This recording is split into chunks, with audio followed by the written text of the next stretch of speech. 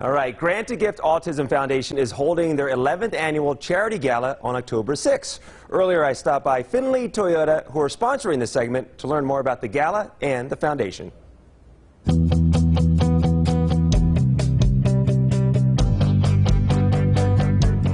Well, here we are at Finley Toyota with John Barr. And John, it's always great to see you. You too, you too. You know, there's two things that I truly love about you. Is one is you always take care of your customers. First-time buyers, repeat buyers.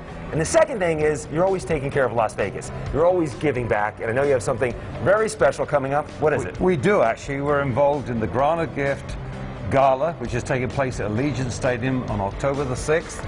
And rather than me tell you about it, JC, Corinne, have at it. Hey, Corinne, it's great to see you. Hello. Tell us more about Grant a Gift Autism.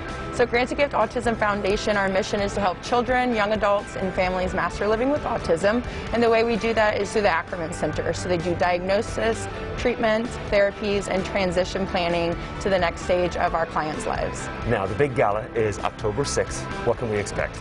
We're super excited for the gala. Finley Toyota has been a fantastic sponsor of ours, not just for the gala, but throughout the year as well. Sandy Finley is on our board, which we're very excited about, and she's a great supporter of ours. The gala is on October 6th on the field. It's our biggest fundraising event of the year, and it's our 11th gala. So we're going to have Mark Shunock be our MC for the night. Super excited about that.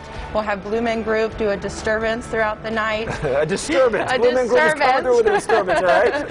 and we're going to have some live auction items up there. Um, we're going to have a Backstreet Boys meet and greet. Whoa!